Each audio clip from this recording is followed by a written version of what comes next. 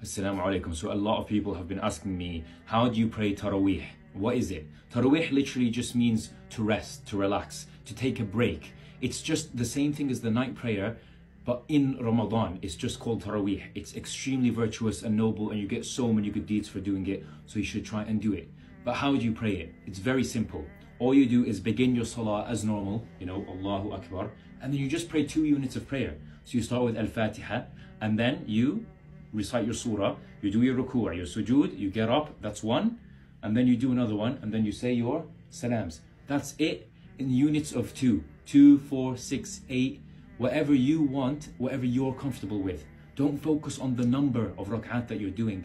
Focus on the length and the concentration and the khushu' you have when you're stood before Allah subhanahu wa ta'ala. That's taraweeh in a nutshell. So try and do it. And if you can't do it alone at home, Go to the mosques and do it and join the jama'ah in congregation. You get so much reward for this.